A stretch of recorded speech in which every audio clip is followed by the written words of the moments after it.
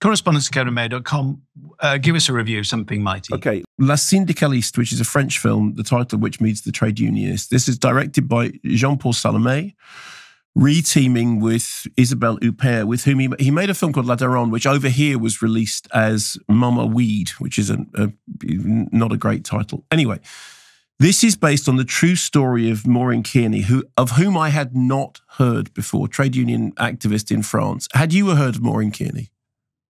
Uh, no, I'm afraid. okay. So, an Irish woman living in France, although actually from the from the is I, I only found the the Irish roots thing uh, later on because obviously Isabelle Huppert's performance is in French, and I have no idea whether or not Isabelle Huppert is doing an accent or indeed what that accent would be. So. The film opens in the aftermath of a horrible attack. She is found, uh, it's 2012, found in her house by her cleaner, bound, gagged, violated, I think is the only word to use. The story then goes back to the period before, leading up to the attack. She's the head union representative for a French multinational nuclear company. And when her boss is replaced, she discovers these secret plans to do a deal with Chinese, which will have huge implications for all the workers that she represents. And she tries to to blow the whistle on the deal. And when she does so, she starts receiving threats, threatening phone calls. Her family start to think that they're being followed. And then the attack we started with. In the aftermath of the attack, she is calm and composed. I mean, actually, I was reminded of the uh, uh um, of, of Elle, which again is, is Isabelle Huppert, in which she plays a character who is refusing to be to, to, to act like a victim, and the police start to think that her reactions aren't uh, aren't normal, aren't what you would expect. They also can't find evidence of the attack, and all too quickly, she goes from being somebody who has been attacked to somebody who is being investigated for having given false witnesses, a very specific offence in France.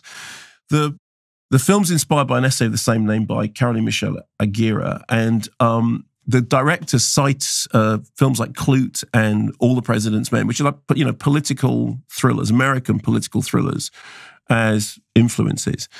And I didn't, like I said, I didn't know this story before, and the story is really uh, very, very alarming. Isabelle Huppert is terrific in the lead role, as she always. Is. I mean, I've never seen Isabelle Huppert give anything other than a note perfect performance. And I was reading this thing that the, the director wrote about it, saying it's a drama that frightens through its clinical approach to themes such as the place of women in spheres of power, the importance granted to their speech, and the assumption of their madness and their manipulative behavior, which is kind of the thing that's at the heart of the film. I mean, on the one hand, it's a story about a whistleblower, and you can see links to things like, uh, you know, um, you can see, like I said, you can see links to those political thrillers that he cited. But it is also about what happens when you have a powerful woman in a largely male dominated workplace who starts to speak out of turn and the way in which the world around them reacts. And an awful lot of it is to do with the fact that as far as everyone around her is concerned, she is not behaving in the way she should do if the story that she's telling is true. Now, uh, in case people don't know the, the, story, and I didn't, so I didn't know where it was going. And obviously, you can look it up. It's a, it's a real life story. It is a, a fairly alarming real life story about her then subsequent legal battle. But the drama is very gripping. It's well directed. Um, there, I really did not know which way the story was going at all, and personally, I felt found that that actually worked for the drama. Although, of course, this is a real life story with real life consequences, with a real life outcome, and so you may wish to to find out about the real life outcome in advance. Um, and Isabelle Huppert is just Isabelle Huppert just continues to be she just never puts a foot wrong. She is a really, really fine actor, and she kind of carries the film. And it's called La Syndicaliste. La Syndicaliste. Yep. Um, okay. Literally Still, the trade unionist. That's about La Syndicaliste sounds more powerful, do you know? Yeah, no, it's uh, uh, which is why I think they've kept that title because I think it is a really good title as opposed to Mama Weed, which is okay. which is not yeah, such a great not, title. No, no, indeed not. Okay, still to come.